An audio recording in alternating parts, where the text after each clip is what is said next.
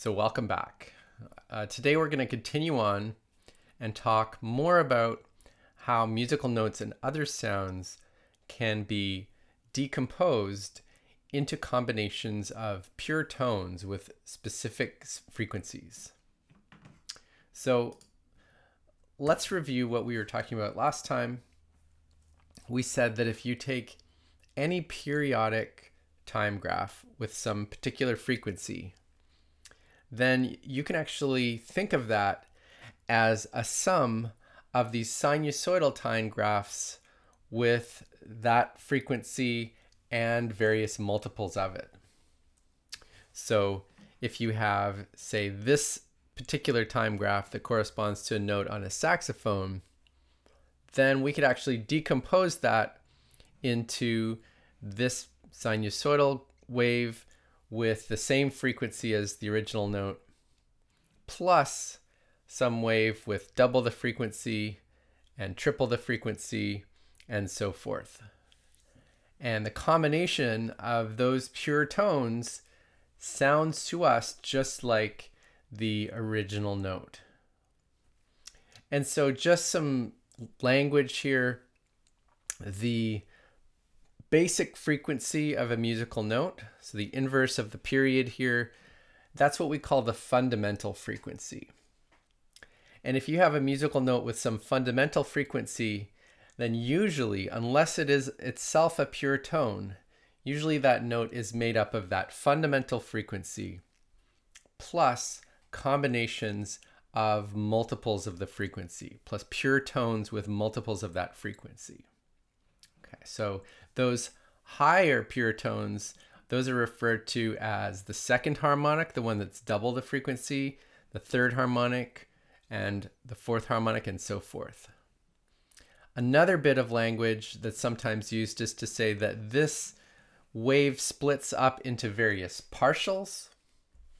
So these pure tones that compose the sound are the partials. And we could say that the partials include the fundamental plus various overtones. So the physical consequence of this statement, which is basically just a mathematical statement, it's a statement that is called Fourier's theorem in mathematics, that any periodic function can be written as a sum of these sinusoidal waves. The physical consequence in terms of music is that you could take the sound of a saxophone and that is entirely equivalent to a sound that would be produced by just combining pure tones with the fundamental frequency and various multiples. So in principle, if you had a saxophone playing a note that's 100 hertz, and then you had a perfect tuning fork that produced a pure tone of 100 hertz and another one of 200, another one of 300, and so forth. If you had just the right combination of amplitudes for those notes, then the saxophone sound and the sound of this combination of tuning forks would be the same. And so in the simulation that I showed last time, we had these three different panels that all represented the information about the wave or the sound that we were hearing. And so the bottom panel is the time graph for the note. It represents the displacement as a function of time for the air, for the eardrum, or for a microphone. And you see that is periodic with some characteristic shape. Now we understand that that shape can be understood as the sum of these pure sinusoidal waves, each one corresponding to a pure tone.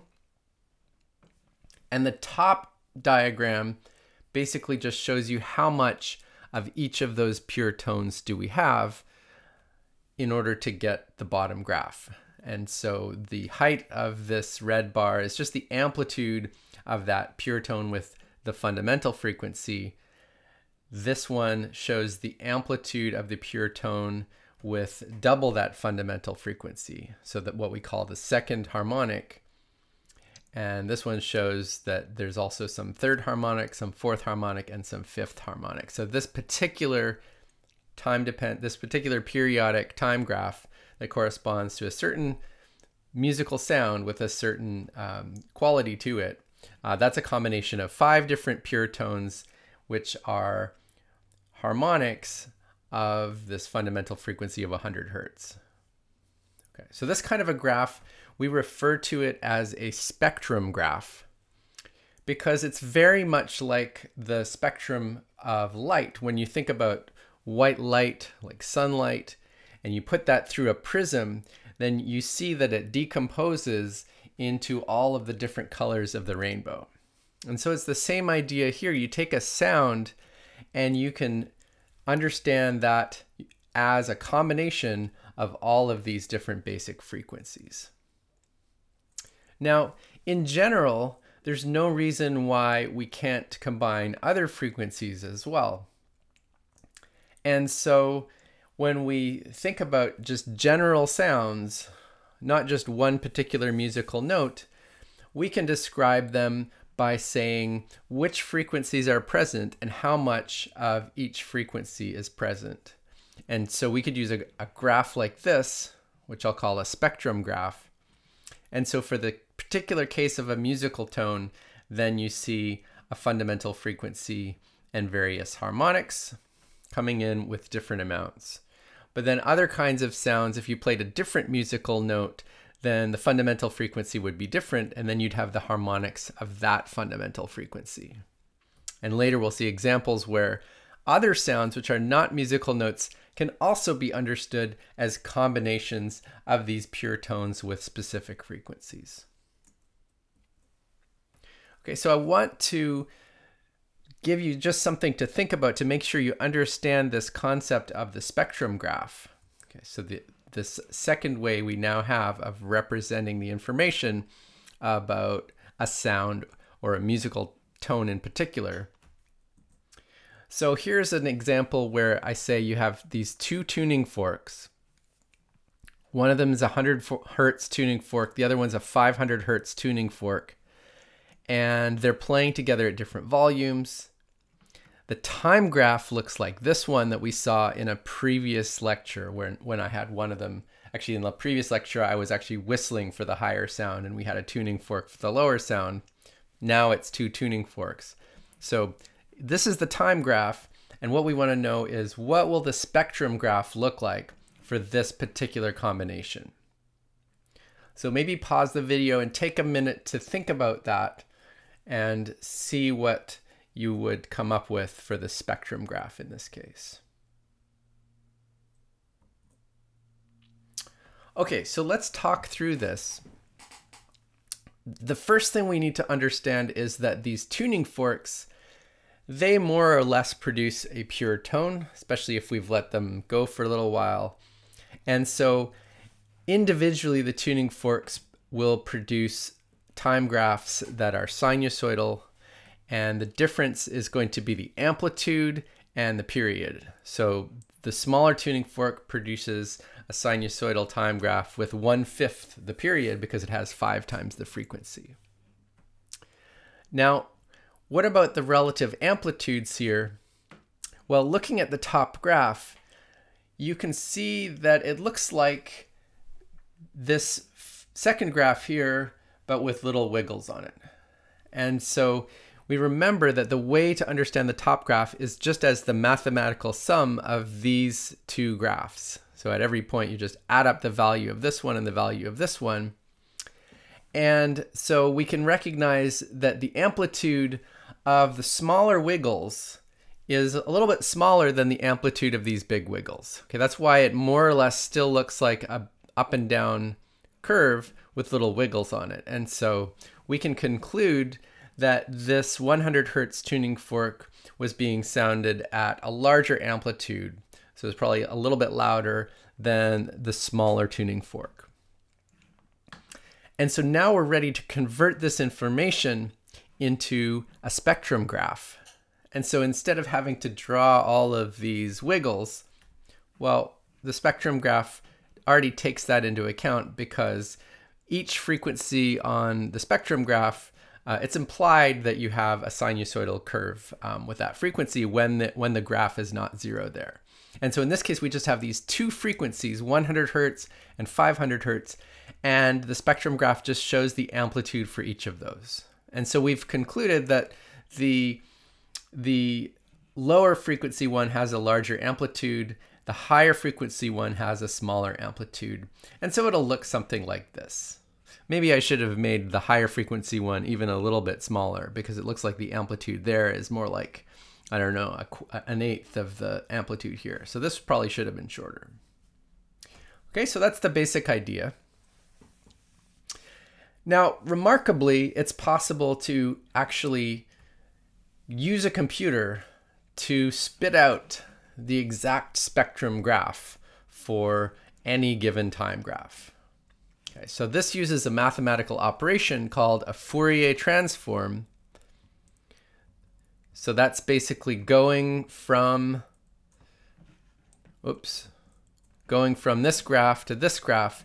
That's something that, that is a Fourier transform. It just tells you which pure tones is is a musical tone composed of, and or what sinusoidal, what frequencies of sinusoidal waves, what frequencies and amplitudes you have to add up to get a specific time graph.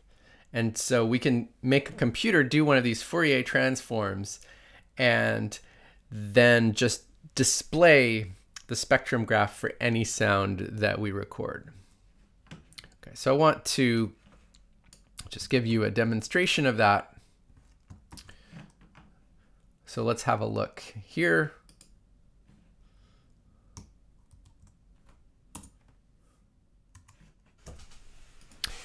So what I have here is a spectrum analyzing app and what it does is it takes the signal from a microphone which is like a time graph and it automatically converts that into a spectrum graph so it figures out which frequencies of sound are present in the sound recorded by the microphone and it shows a graph of how much of each frequency is present.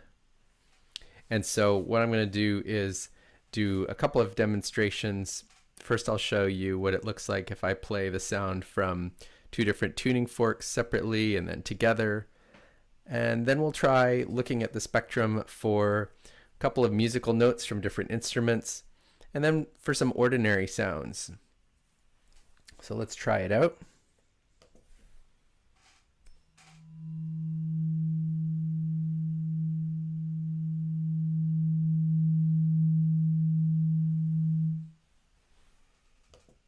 Okay, so that was a, uh, it says 128 hertz, but I think actually it was uh, a little bit higher than that.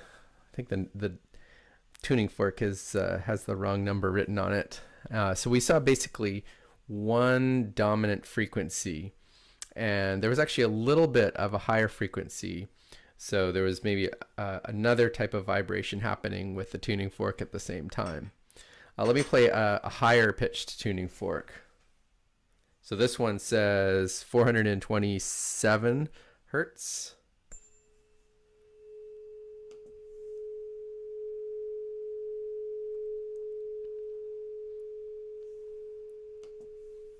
Okay, and so you could see actually at the, the, right at the top of the screen there, it says, uh, well, it's picking up 428 hertz, so that's pretty close to what it says on the tuning fork. And again, we mainly just have one frequency. Uh, let me show you what it looks like if I play a recorder now. And then I'm going to play a harmonica note, and and then I'm just going to make some noise. So let's uh, let's try those.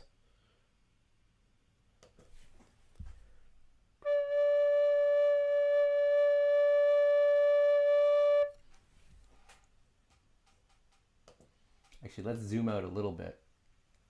So I'm going to go all the way up to 5,000 hertz.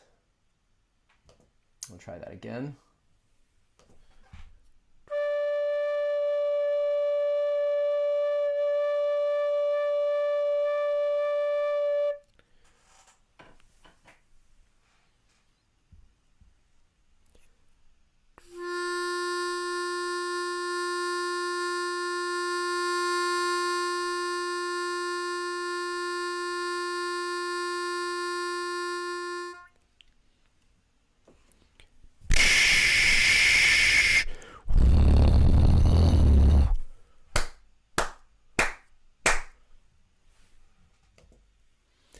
Okay, so you saw the the huge difference there. We already saw this with the time graphs where the musical notes had these nicely periodic time graphs and the regular sounds were all random. And now we can see this very dramatically in the spectrum graphs. When you look at the spectrum graph for uh, an ordinary sound, just some noise, then you see that it basically has all sorts of frequencies present, um, all the way from from tens of hertz uh, way up here. If I if I try that again, uh, going up to let's say 20,000 hertz. Let's see what that does. So here we go. Okay, so a huge range of frequencies present. Whereas we saw that when I played the musical note, then for the pure tones, we were basically just getting one frequency. And for the more complicated instruments, for the recorder and their harmonica, which sound a little bit nicer, then you're getting that combination of a fundamental frequency and then various multiples of the frequency, and those would have different amplitudes. Let's see the harmonica one more time with this full range of uh, frequencies present.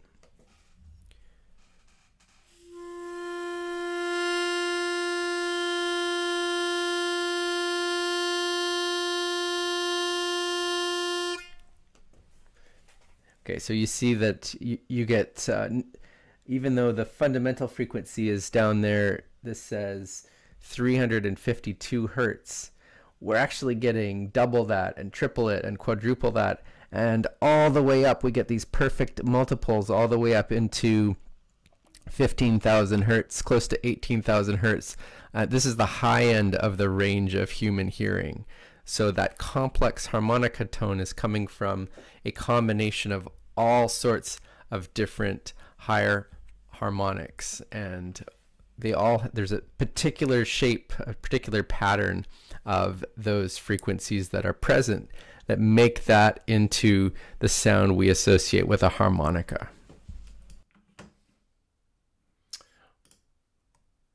Okay. Uh, so just to summarize a couple of things from that video we saw that when I played a musical tone, then generally that had a specific fundamental frequency and then a combination of these higher frequencies that were multiples of that fundamental. So the fundamental, this is the second harmonic, third harmonic, fourth harmonic. And we had different amplitudes for those. And that varies between different instruments. Whereas this, with the ordinary sound, like the shh kind of noise, then we had all sorts of frequencies present, pretty much all the frequencies present. It was just a big, big green blur. And so, what we're going to get into next time is like, why do musical instruments produce these combinations of a fundamental tone and then just multiples of that? Why, why does that happen? that's in some ways what defines a musical instrument.